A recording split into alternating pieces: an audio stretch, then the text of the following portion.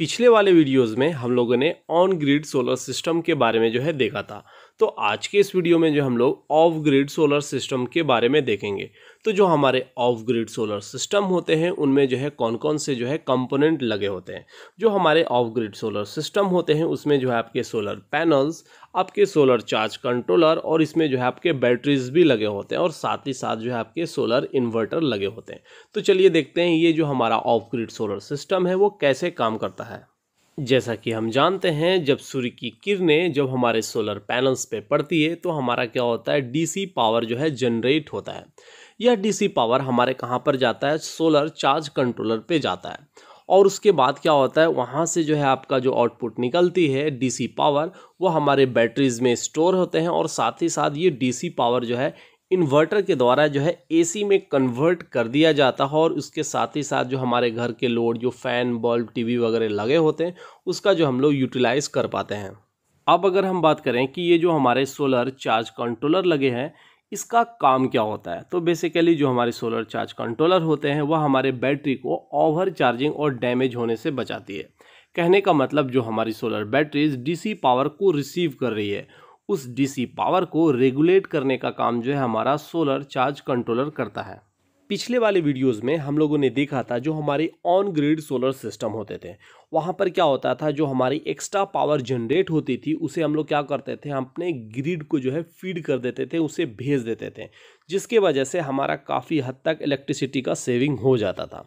But अगर हम बात करें ऑफ़ ग्रिड सोलर सिस्टम में, यहाँ पर जो हमारी एक्स्ट्रा पावर जो जनरेट होती है, वो हमारी क्या हो जाती है वेस्ट हो जाती है। तो इसे जो हम लोग अच्छे समझने के लिए एग्ज़ाम्पल के थ्रू हम लोग समझते हैं। अगर सपोज़ हमारे घर में एक हज़ार वाट का ऑफ़ ग्रिड सोलर सिस्टम लगे हैं, और सपोज़ हमारे घर का जो लोड है वो 500 वाट है।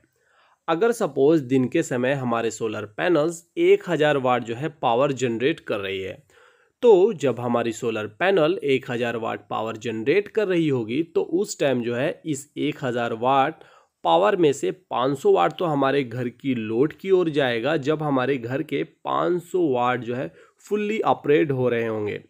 और बचे 500 वाट पावर जो है हमारे बैटरी की ओर जाएगा। कहने का मतलब उस टाइम हमारे बैटरी जो है 500 वाट पावर की रेट से जो है चार्ज हो रहे होंगे।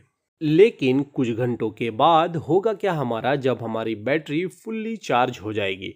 तो ये जो हमारी 500 वाट की पावर जो बैटरी की ओर जा रही थी, अब वह टोटली वेस्ट हो जाएगी। क्योंकि ये 500 वाट की पावर जो है आपकी बैटरी तक भी नहीं जाएगी। तो इस ऑफ़ ग्रिड सिस्टम का यह सबसे बड़ा डिसएडवांटेज है। अगर हम जो है एक और डिसएडवांटेज की बात करें। अब सपोज़ अगर सोलर पैनल पावर जनरेट नहीं कर रही है, जैसा जो है आपका रात के समय होता है तो उस टाइम होता क्या है हमारा? ये जो हमारा इन्वर्टर है, वह हमारे लोड को बैटरी के ऊपर डाल देगा। कहने का मतलब जब सोलर पैनल काम करना बंद करेगा तो जो हमारे घर का लोड होगा, वह बैटरी के थ्रू जो है कनेक्ट हो जाएगा। और जब हमारा घर का लोड बैटरी के साथ कनेक्ट होगा तो जो हमारा ग्रिड से सप्लाई आ रही है, ये ऑटोमेटिक क्या हो जाएगी? कट हो जाएगी। और हमारे घर का लोड जो है, कुछ घंटों के लिए बैटरी से चलेगी। तब तक चलेगी जब तक हमारा जो है बैटरी डिस्चार्ज ना हो जाए। और जैसे ही हमारी बैटरी डिस्चार्ज होगी तो हमारा कनेक्शन जो है, वह ग्रिड से हो जाएगी। और जैसे ही हमारा सप्लाई जो है ग्रिड से आने लगेगी तो उससे हमारा घर का लोड भी चलेगा और हमारी बैटरी भी जो है चार्ज होने लगेगी। और जो हमारी बैटरी होती है, उस एक बैटरी को चार्ज होने में लगभग आठ से दस घंटे जो है लग जाते हैं। और इस एक बैटरी को चार्ज होने में हमारा जो है ढाई यूनिट से तीन यूनिट का बिजली का जो है खर्च हो जाता है। कहने का मतलब इस ऑफ़ ग्रिड सोलर सिस्टम को यूज़ करने से हमारा जो है बिजली का बिल जो है कम नहीं होता है। और तीसरा डिसएडवांटेज यह है कि जैसा कि हम जानते हैं ऑफ़ ग्रिड सोलर सिस्टम में जो है बैटरी यूज़ होते हैं।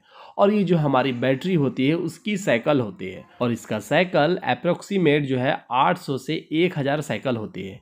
एक साइकिल कहने का मतलब जब हमारी बैटरी एक बार चार्ज होगी और एक बार हमारी डिस्चार्ज होगी तो उसी तरीके से जो है 800 साइकिल का मतलब होती है, हमारी बैटरी 800 बार चार्ज और डिस्चार्ज होगी।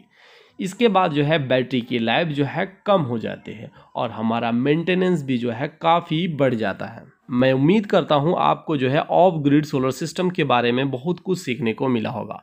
जो लोग ऑन ग्रिड सोलर सिस्टम के बारे में नहीं जानते हैं या उन लोगों ने वीडियो नहीं देखा है, आप हमारे वीडियो को देख सकते हैं। इसका लिंक मैं डिस्क्रिप्शन में जो है दे दूँगा। Thank you for watching my videos good luck and heaviness